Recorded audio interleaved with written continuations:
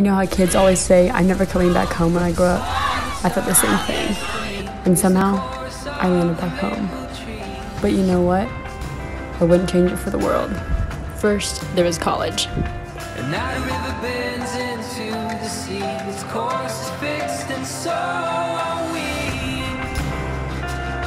It seems. But I got Before working at the biggest sports event in the world, wait, what? I had some time to kill. So I got a job chasing kids around my camera. And I kind of loved it. Nice! Enter Thrive, arguably the coolest nonprofit around town. I mean, look at these kids. We're gonna have to wait. Meet some of the main characters. This is Grace.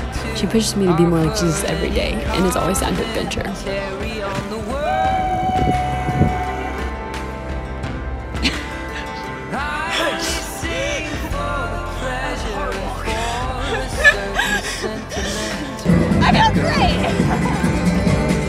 This is Erica. And I did not come to Tell me, tell the audience the truth. You pe- you literally peed yourself in my passenger seat and then got out and tried to play it cool.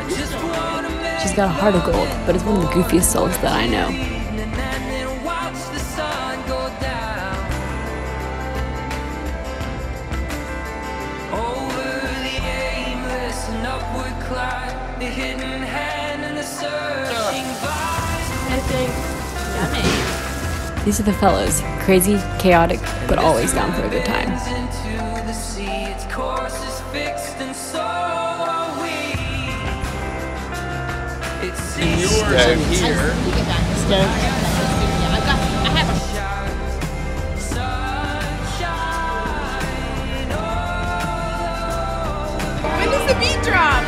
Here are just a couple of the random moments that made me smile this year. Explain what bikes are. So Emily is uh, riding her bike from childhood. Um, Grace is going to the Tour de France, which I've just been educated about.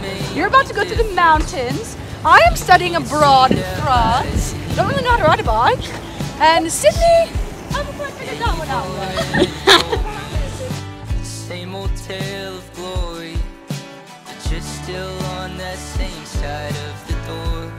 How many strokes are you at, Emily?